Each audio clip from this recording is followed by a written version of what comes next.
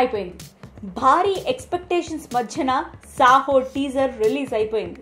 Saaho title is official Baahubali the conclusion తర్వాత Prabhas next cinema title ఇదే. టీజర్లో మనకు అర్థమైపోయింది.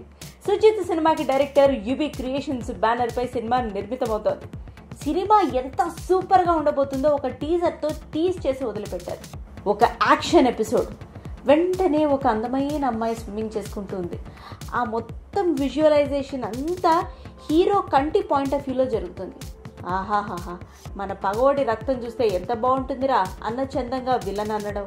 సార్ అది వాడి రక్తం కాదు మన రక్తం అని కోవిలన్ చెప్పడం. ప్రభాస్ తనదైన స్టైల్లో ఎక్స్ప్రెషన్ ఇచ్చి నవ్వు నవ్వి ఇట్స్ షో టైమ్ అని చెప్పడం.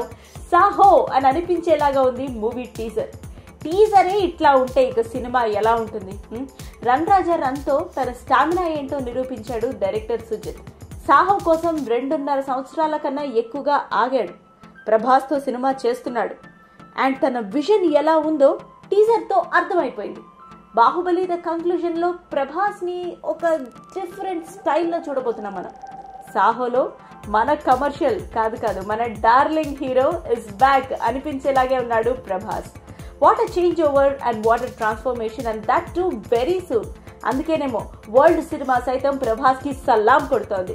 హీరోయిన్ వైట్ డ్రెస్లో స్విమ్మింగ్ చేస్తుంది ఎవరబ్బా? రష్మిక మందనానేనా? ఆ ఫేస్ క్లారిటీ లేదు కానీ తనే తనే.